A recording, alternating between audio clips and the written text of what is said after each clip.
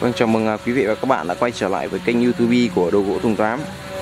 Hôm nay là hiện tại là 8 giờ sáng ngày 17 tháng 1 năm 2019.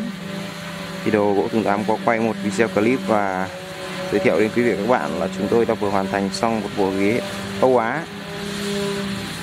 Chương à, cuốn thư bao gồm 10 món của anh à, khách hàng là anh Vĩ tại thành phố Việt Trì. Bàn ghế này thì là bao gồm 10 món bằng à, chất liệu gỗ có đỏ. Hôm nay thì tôi à, có quay một video để hoàn thiện, để làm kỷ niệm và gửi tới anh Vĩ tại thành phố Việt Trì. Trước khi là chúng tôi à, vận chuyển về cho anh. Đây là toàn cảnh của bàn ghế đấy bây giờ tôi vào à, chi tiết hơn một chút, là hai chiếc ghế, hai chiếc ghế bé, hai cái ghế nhỏ đây. Hai chiếc ghế nhỏ này có kích thước là sâu 60 và bề ngang là 87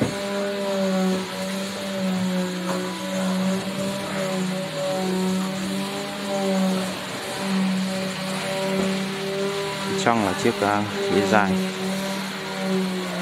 Để tôi đi gần hơn một chút. Dài mặt mà một lá vách thì được à, quý quý. Chiếc ghế dài này kích thước là sâu 60 và dài là 2 m 15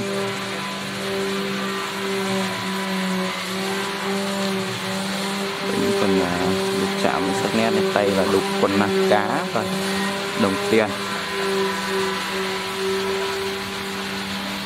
Đồng tiền này là bên ngoài tròn trong vuông là thường là tượng trưng cho trời đất. Tài lộc. Bách là tứ quý, bốn mùa. Cái này là cũng hai chiếc ghế nhỏ nữa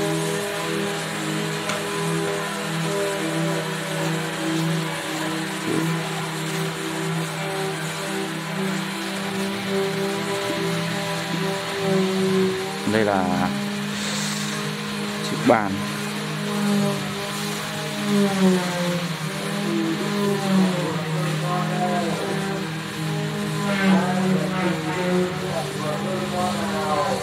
Mọi người ai có nhu cầu thì là có thể liên hệ với chúng tôi theo số điện thoại là 0987 510 806 để có thể sở hữu được bộ bàn ghế này.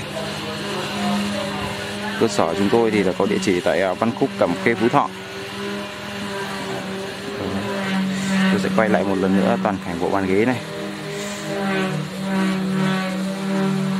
Ờ, trước khi, sau khi kết thúc video này thì là chúng tôi sẽ chuẩn bị để à, bốc xếp bộ bàn ghế này cho anh à, Vĩ tại thành phố Việt Trì.